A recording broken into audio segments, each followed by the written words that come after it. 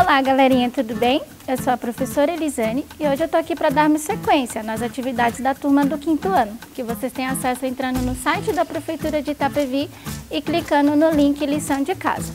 Pessoal, nós estamos na 11ª semana das nossas atividades e no nosso quadro semanal nós temos algumas atividades para serem desenvolvidas.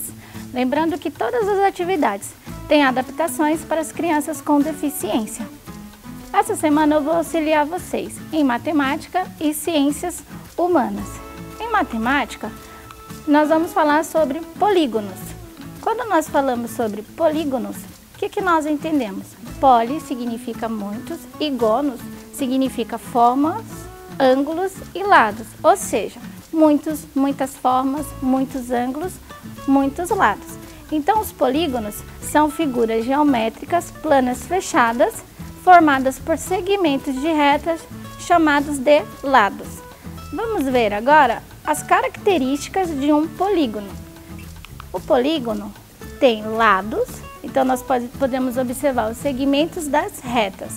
Esses, esses encontros das retas nós chamamos de vértice. Então nós temos as vértices e também nós temos os ângulos. Então nós podemos observar uma figura geométrica plana com segmentos de retas fechados. Um polígono não pode ter curva e não pode ser aberto. Então, observe que a gente tem os segmentos de reta, mas está aberto. Então, aqui não é um polígono. E também não pode cruzar, não pode cruzar entre si. Então, aqui também não é um polígono.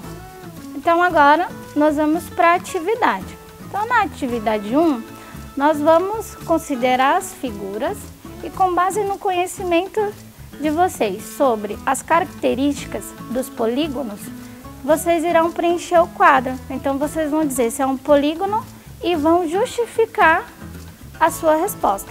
Então nós vamos fazer o número 1. Um. Então nós vamos ver a figura geométrica e as suas características. Então, a figura número 1, um, a gente percebe que é uma figura plana e os seus segmentos de retas são fechados, então é um polígono. Então nós vamos colocar sim. E agora, com base nessas características, a gente vai justificar a resposta. Então a gente vai responder.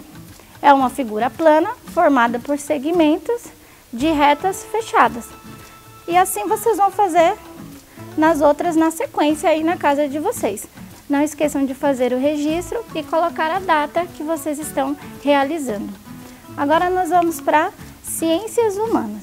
Em ciências humanas nós vamos falar sobre o que é Estado. Mas para a gente entender o que é Estado, a gente precisa compreender os elementos que constituem o Estado. Que elementos são esses? São o povo, o território e o governo. Então nós vamos começar pelo povo. Quem é o povo? O povo são pessoas que compartilham o mesmo território, o mesmo espaço geográfico e formam o Estado. Quando a gente fala de Estado, vem a concepção de cidadão.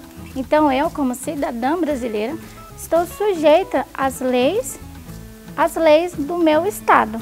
Então, quando a gente fala de cidadão, a gente sabe que ele é sujeito às leis e direitos do Estado. Então, quando a gente fala povo, a gente vai lembrar que são pessoas que compartilham o mesmo território e estão sujeitos às mesmas leis. E o território? O território é a parte de um espaço geográfico, é o espaço físico delimitado.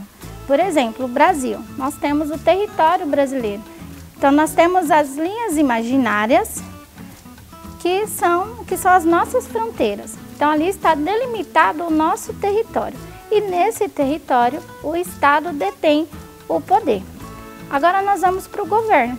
O que é o governo? O governo é uma instituição criada pelo povo e é a instância máxima de administração. Então o governo, ele cria as leis e as instituições.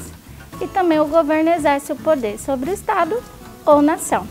Então agora a gente pode concluir que o Estado ele é jurídico, ele exerce o poder. Então, ele zela pela vida humana, ele zela pela ordem e ele zela pela soberania do país. Tudo bem? Agora nós vamos ver o conceito de nação. E para a gente pensar em nação, a gente tem que pensar em identidade cultural. Por quê? Porque a nação são grupos de pessoas que vivem em um determinado território, um determinado espaço geográfico, que compartilham da mesma identidade cultural, compartilham das mesmas tradições e compartilham da mesma cultura e do mesmo idioma e das mesmas ideias. Quando a gente fala de ideias, a gente chega na parte onde eu me identifico, onde eu me encontro. Então aí vem a ideia da identidade cultural. Por exemplo, nós temos uma nação. Então nós temos a nação brasileira. Por quê? Nós compartilhamos do mesmo idioma. Então nós falamos a língua portuguesa, porque nós somos colonizados pelos portugueses. E também compartilhamos da mesma cultura. Dentro da nação brasileira, nós temos os povos indígenas. Eles compartilham do mesmo idioma, da mesma cultura, da mesma, das mesmas tradições. Então eles formam eles têm a identidade cultural deles. Então eles formam uma pequena nação. Então dentro da nossa nação brasileira nós temos pequenas nações. Tudo bem? Então, toda vez que nós falarmos de nação, nós vamos lembrar de identidade cultural, que é o grupo onde eu me reconheço. Tudo bem? Então agora a gente pode realizar a atividade dessa semana. Então na atividade dessa semana vocês vão responder algumas questões que tem lá no link lição de casa. Então, na letra A vocês vão responder o que é nação. Na letra B vocês irão responder o que é território. E na letra C vocês irão responder o que é estado e quais são os seus elementos.